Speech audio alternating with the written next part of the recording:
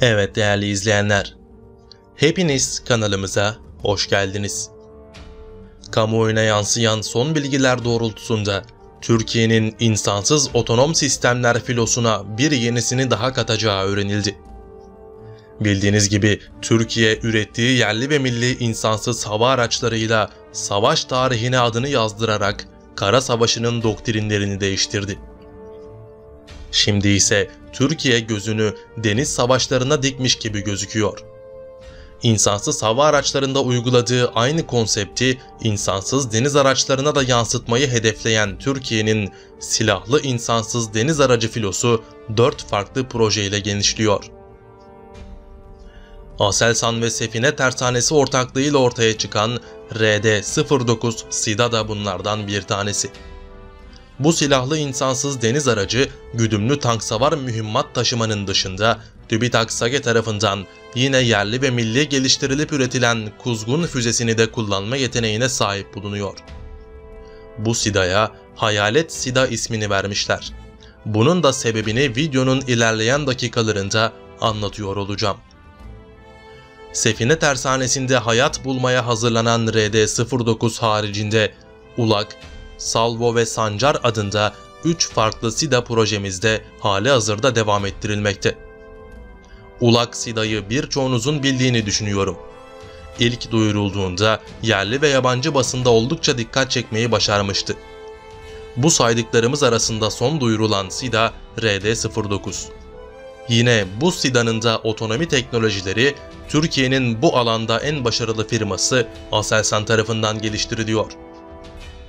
Açıklanan verilere göre RD-09 su üzerinde saatte 66 km hıza ulaşabiliyor ve 1200 km mesafeyi sorunsuz bir şekilde kat edebilme yeteneğine sahip. Mavi Vatan'da çok uzak menzillere gönderilmek üzere tasarlanan SIDA 80 saat boyunca aralıksız operasyon gerçekleştirebiliyor. Benim özellikle en çok ilgimi çeken özelliği ise şu. Bu SIDA yoğun fırtınalı hava şartlarında dahi hatta denizcilik terimlerine az çok hakim olanlarınız varsa anlayacaktır. Deniz durumu dörtte bile testlerden tam puanla ayrılmayı başardı. Benim bahsetmek istediğim kabiliyet ise şiddetli dalgalanmalar esnasında bile su üzerinde istenilen noktada sabit bir şekilde kalabilmesi oldu. Ayrıca görev yerine intikal için A400M kargo uçağı ve TCG Anadolu gemisinde taşınabilecek şekilde tasarlanıyor. RD-09 düşük ısı ve iz yayılımı özelliği sayesinde düşman radarları tarafından görülemeyecek.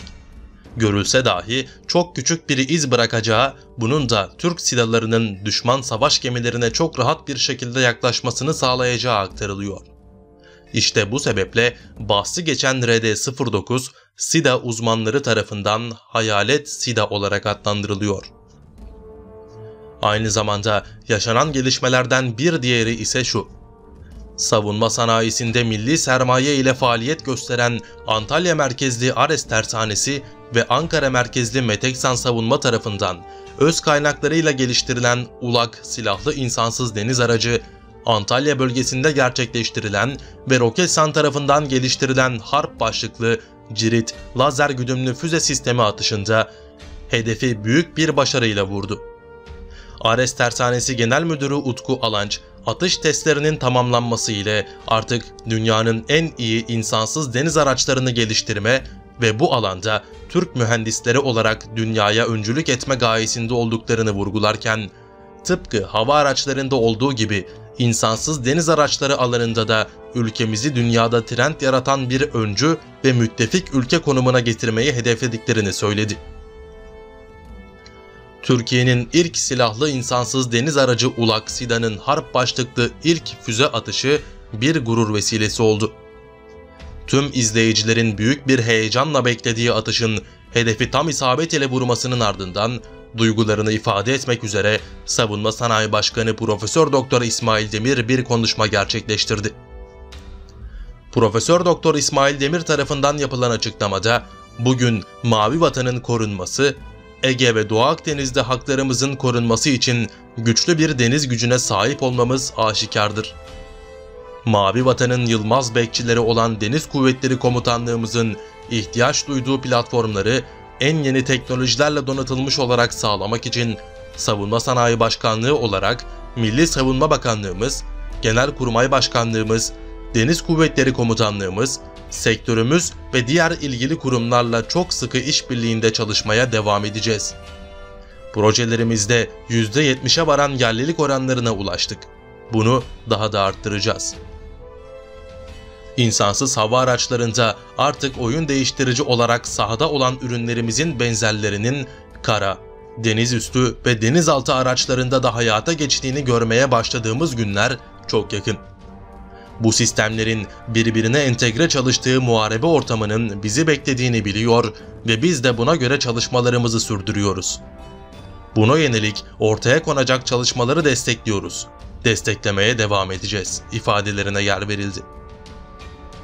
Türkiye'nin ilk insansız muharip deniz aracı olan ULAKSİ'da keşif, gözetleme ve istihbarat, su üstü harbi, asimetrik harp, silahlı eskort ve kuvvet koruma, stratejik tesis güvenliği gibi görevlerin icrasında karadan mobil araçlarla ve karargah komuta merkezinden veya uçak gemisi, frakateyn gibi yüzer platformlardan kullanılabilecek diyelim ve videomuzu sonlandıralım.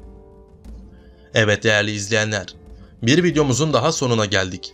Bu tarz videolarımızın devamının gelmesini istiyorsanız kanalımıza abone olmayı, videomuzu beğenmeyi ve görüşlerinizi yorumlarda bizlerle paylaşmayı unutmayın.